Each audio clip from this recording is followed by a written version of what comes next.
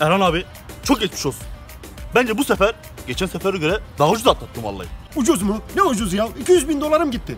Erhan abi sana kaç kere dedik vergi ödeyelim diye. Şimdi ne oldu? Faiz ile beraber ödüyoruz. Adam da haklı arkadaş. Para dediğin namussuz şey o kadar tatlı ki insan kopamıyor vallahi. Çantanın benden kopamadığı gibi ya. Bak burada çok haklısın. Çok para kaybettik. Derhal yeni işler yapmamız lazım. Çok haklısınız beyler. İnanın o kadar haklısınız ki gözlerim yaşardı yahu. Ah ah. Gözlerim yaşardı. Hayırdır ne oldu ki? Ne olacak ya?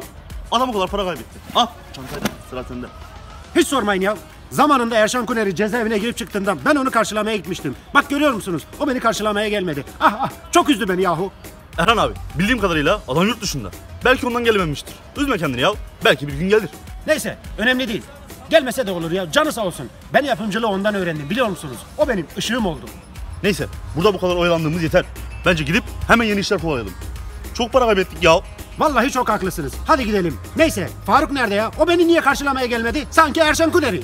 Abi sen onun yüzünden içeri girdin. Biz de onu kovduk. Ah bir elime geçirirsem çok kötü yapacağım onu. Ne vurayım ben? Yahu ne alakası var? Onun bir suçu yok. Suç benim.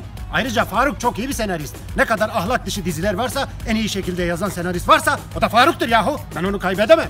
Çok iyi yazıyor. Sonuna kadar haklısın Erhan abi. Ben de senin gibi düşündüm. Adamın ne suçu var ya? Ofiste bizi bekliyor. Hadi gidelim. Ben ne dedim? Ben de haklı dedim. Hadi gidelim o zaman. Daha kırılacak çok reyting var çok. Bu arada emanetlerim nerede yahu?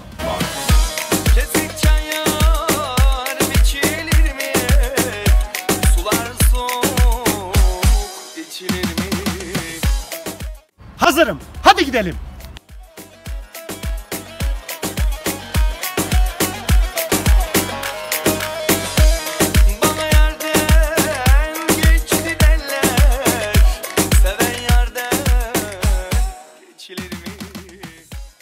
Erhan abi, Amerikalılar bu işte çok iyi. Biz de onlar gibi fantezi dizi mi çeksin? Ne dersin? Yok ya bence tutmaz. Ayrıca bizim diziler fantazi dizilerden daha beter. Yeni şeyler bulmak lazım arkadaşlar. Hmm, bu arabayı alacağım. Tamam abi, şuna ne dersin? Mesela İngilizler bu işte çok başarılı. Biz de onlar gibi çıplak dizi mi çeksek? Mesela ofiste soyunanlar. Oh, ah. Nasıl abi? Çok iyi fikir değil mi abi? Nasıl yani? Çıplak derken?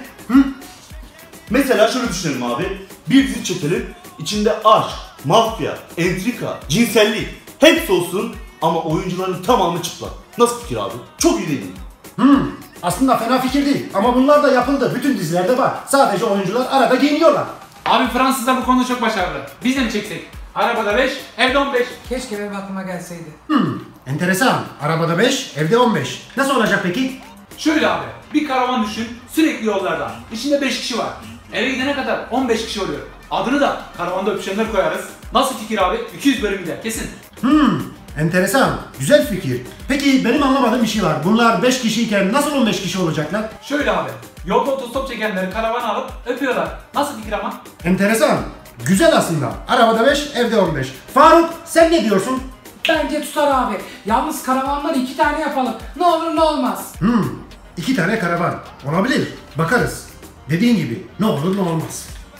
Eğer istersen Hollywood işleri çekelim abi. Mesela buldum.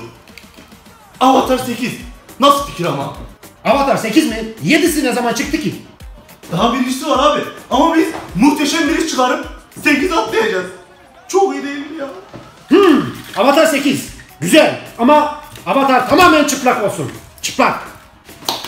Bak abicim bu hiç denenmemişti. Bir avatar düşün başından geçen olaylar. Bu gerizekalı çıplak diye deniz sanıp tımarhaneye atarlar. Güzel fikir. Keşke benim aklıma gelseydi. Ama hemen tımarhaneye atmasınlar. Sürekli koşsun, sevişsin, adam vursun, 500 bölüm sonra yakalansın tamam mı? Bu çok iyi abi. 500. bölümde final yapar çıplak avatar tımarhanede sevişiyor diye sinema filmi çekeriz. Çok iyi fikir. Sonunda sinema filmi öyle mi? Çok güzel. Bu tamamdır. Başka var mı fikirleriniz? Var mı? Söyleyin. Harika bir proje olacak abi. Ama bu vergi işlerini nasıl yapacağız? Bence zamanında ödeyelim. Bu güzel proje yarım kalmasın değil mi arkadaşlar? Bence ödemeyelim. Neticede para bu. Çok tatlı namussuz. Ben hallederim arkadaşlar. Siz hiç merak etmeyin. İyi bakalım. İçim çok rahat. Piyasayı tekrar alt üst edeceğiz. Ee, hadi bunu kutlayalım. Kim bana yemek ısmarlayacak? Bende zırnık yok da. Abicim bende ne yok. Zırnık olsa onunla kopamam. Veremem yani.